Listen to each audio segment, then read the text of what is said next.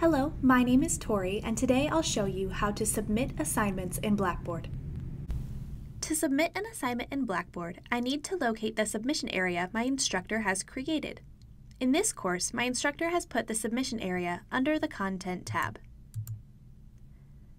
This symbol, with a piece of paper, a pencil, and a ruler, tells me that this is an assignment submission area. I'll click on this underlined link here to access the submission area. On this page, I can see all of the assignment information my instructor has provided for the assignment, including the assignment due date and time, and the points possible for the assignment. There are two ways I can submit an assignment in Blackboard. I can either write my submission in the text box provided here, or I can attach my assignment in a file. To attach a file for submission, click Browse My Computer. When I've located the right file, I'll select it and then click Open.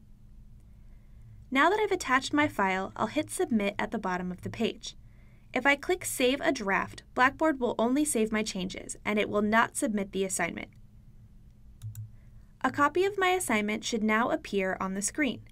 This means that I have successfully submitted an assignment to Blackboard.